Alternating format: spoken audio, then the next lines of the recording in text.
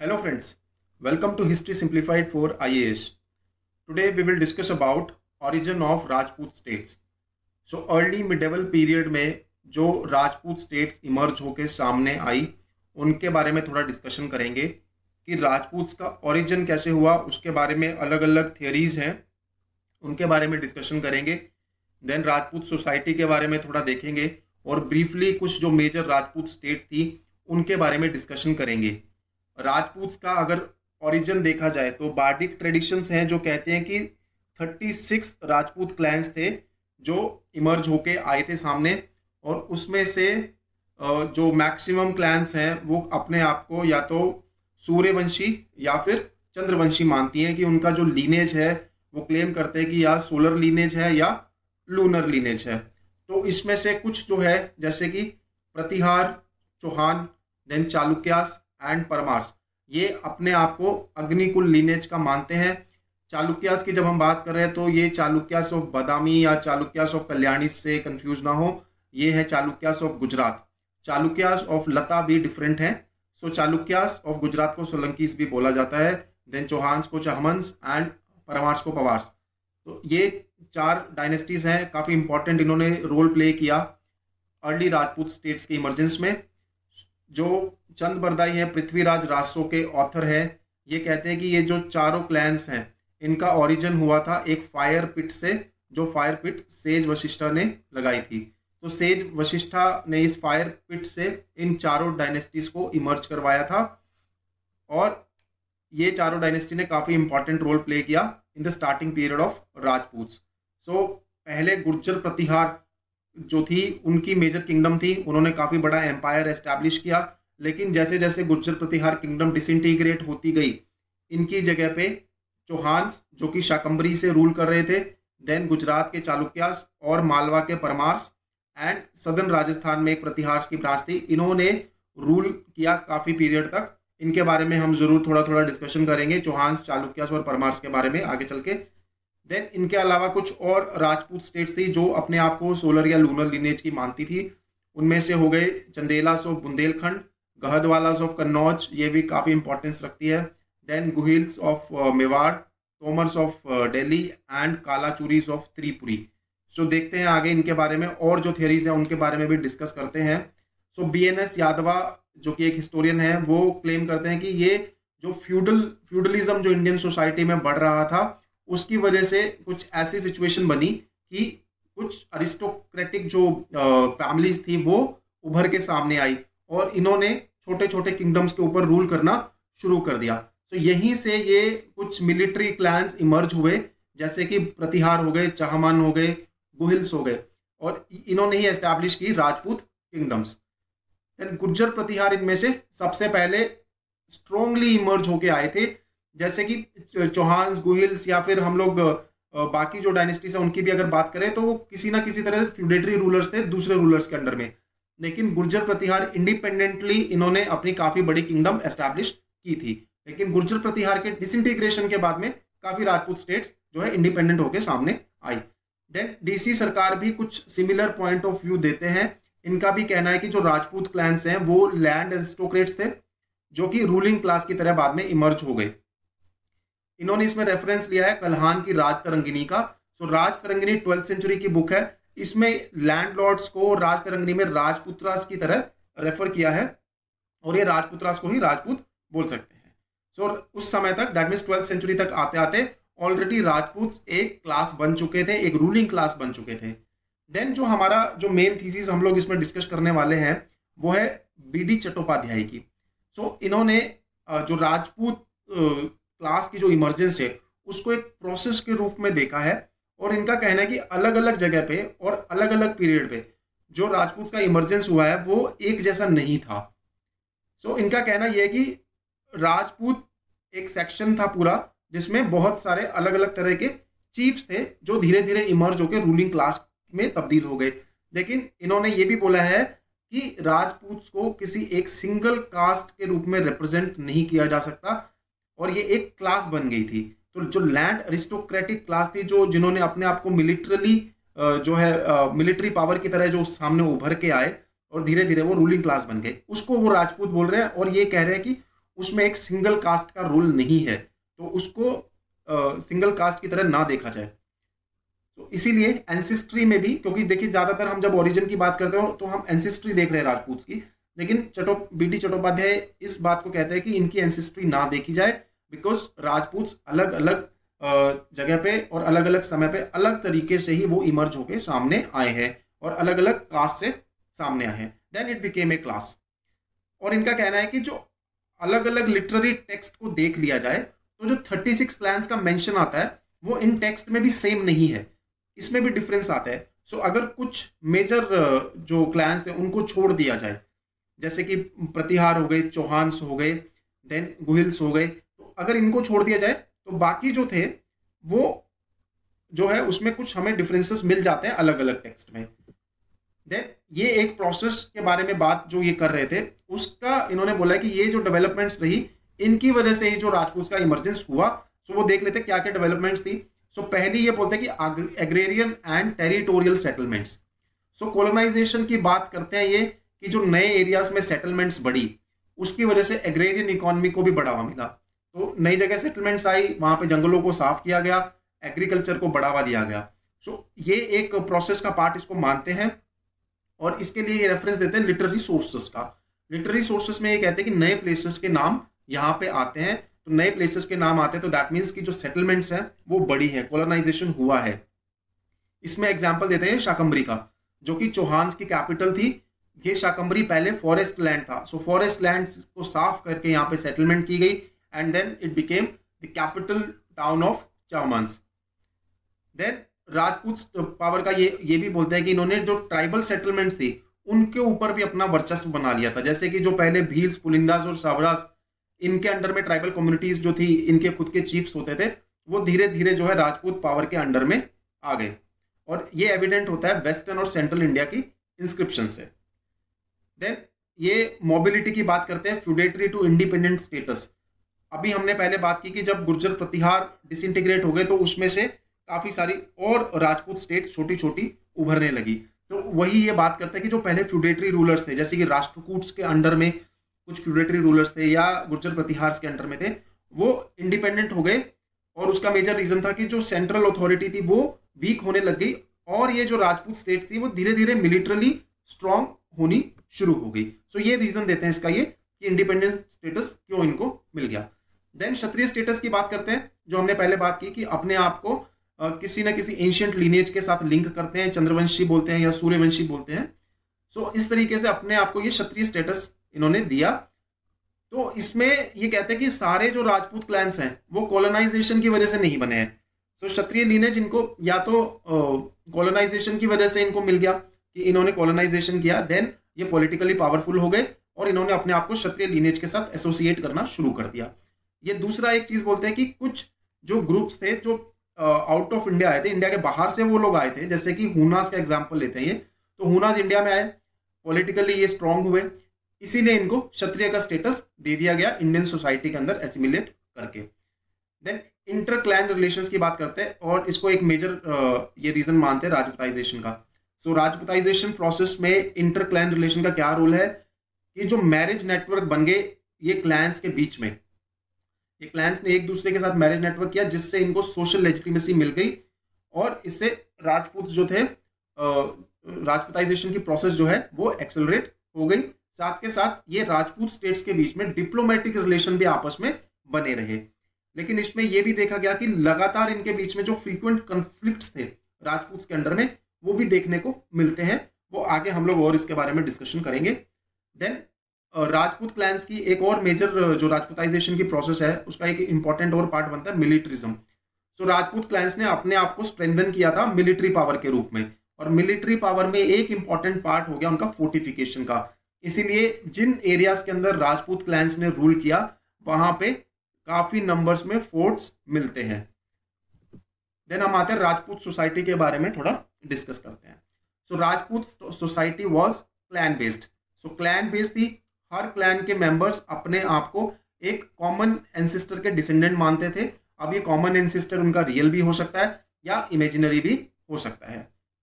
Rajput states को एक राणा या रावत रूल करता था और उसकी हेल्प करते थे चीफ्स अब ये चीफ्स आगे जो लैंड है वो सब चीफ्स को अलॉट कर देते थे विलेजेस के अंदर।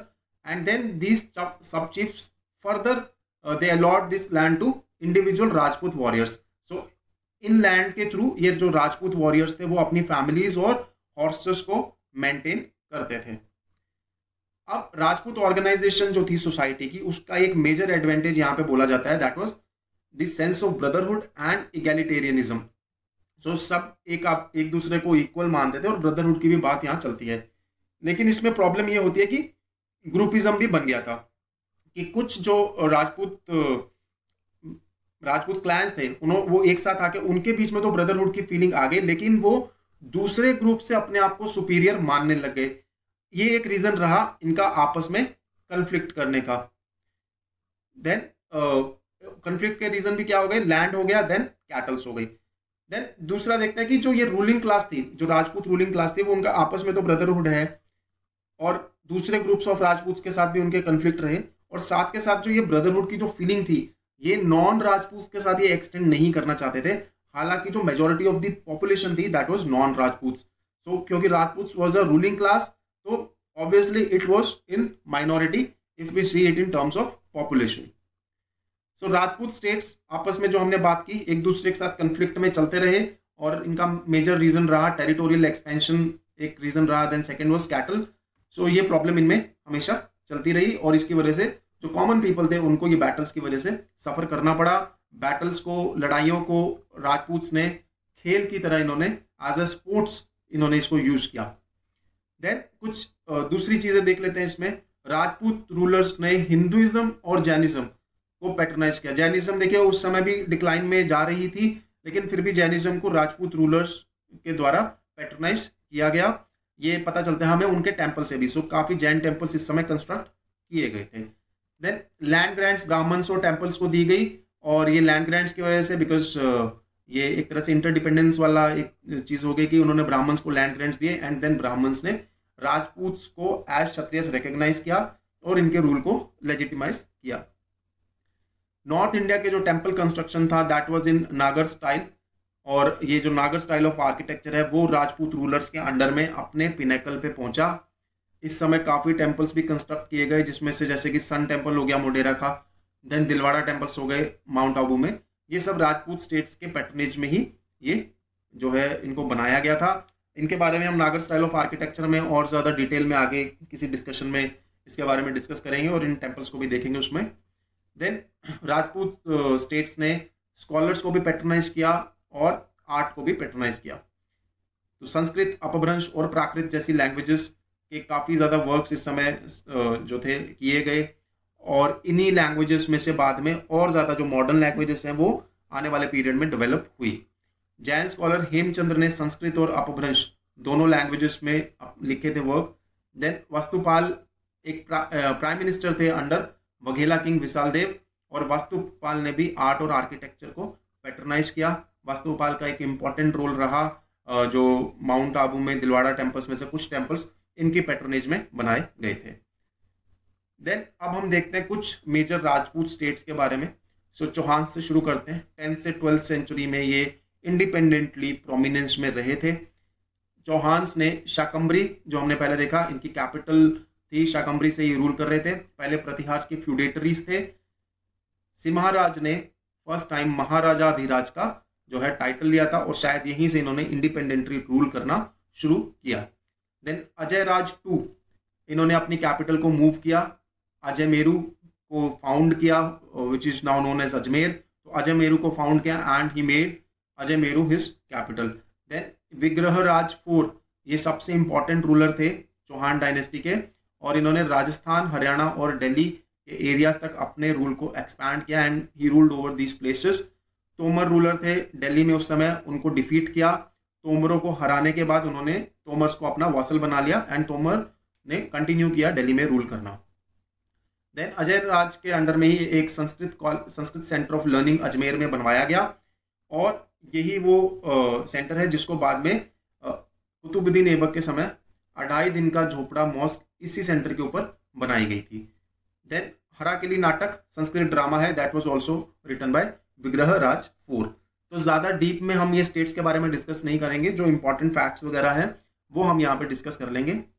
देन पृथ्वीराज थ्री ने एक्सपेंशनिस्ट पॉलिसी को फॉलो किया, और सोलंकीस जो थे गुजरात के देन आबू के परमार्स जेजा का भुक्ति बुंदेलखंड एरिया में जो चंदेला रूल कर रहे थे।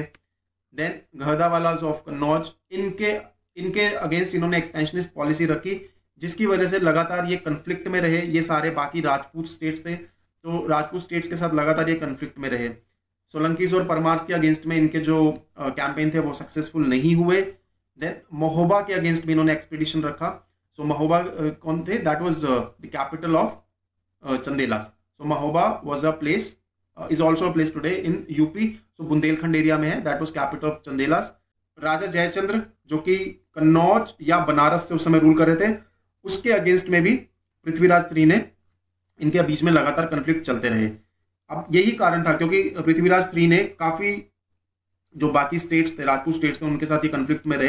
That was the reason Rajput states का कुछ ज़्यादा इनको जो है सपोर्ट नहीं मिला अगेंस्ट मोइजुद्दीन मोहम्मद। तो जब मोहम्मद गौरी ने जो है इन्वेजन किया था, उस समय पृथ्वीराज थ्री ने, हालाँकि काफ़ी बड़ी आर्मी तो इकट्ठी कर ली थी but it did not get support from major and strong Rajput states तो फ़र्स्ट बैटल ऑफ़ तराइन के बाद भी पंजाब में से इन्होंने गुरित्स को निकालने की कोशिश नहीं की, मोहम्मद गोरी की फोर्सेस वहाँ पे थी और पंजाब को उसने अपना बेस बनाया था। देन सेकेंड बैटल ऑफ़ पानी तराइन हुआ 1192 में, जिसमें चौहान रूल एक तरह से काफ़ी जो है कमज़ोर हो गया था और उसके बाद ये कुछ समय और चलता रहा। लेकिन वर्चुअली जो है चौहान रूल यहीं पे एंड हो गया। देन गहदवालास के बारे में देखते हैं। गहदवालास कन्नौज या बनारस के एरियाज़ से रूल कर रहे थे। सो so, इसमें हिस्टोरियंस का डिस्प्यूट है बिकॉज़ ज़्यादातर हिस्टोरियंस हालाँकि गहदवालास ऑफ़ कन्नौज ही हम बोलते हैं लेकिन काफ़ी हिस्टोरियंस का मानना है कि गहदवालास बनारस से रूल कर रहे थे in eleven twelfth century so kingdom को एस्टेब्लिश किया था चंद्रदेव ने 1090 एडी में। कालाचूरिस के एक तरह से फ्यूडेटरी रूलर्स थे। काला कालाचूरिस की आ, में से ही एक स्टेट इन्होंने काव आउट की थी और गहदवालास वहाँ पे रूल कर रहे थे। सबसे पावरफुल रूलर देख लें तो गोविंद चंद्र था। एज अ प्रिंस इसने गजनवीज के अगेंस्ट और पालास के अगेंस्ट मिलिट्री सक्सेसेस पाई थी।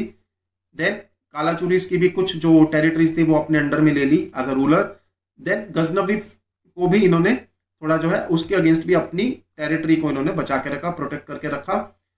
Then Jaichandra was the last powerful king of the dynasty और बैटल ऑफ़ चंदावर में जयचंद्र को मार दिया गया था by Ghurid forces led by Qutbuddin Aibak so इस तरह से गहदवालास का भी जो है, एक तरह से पतन हो गया इसके बाद।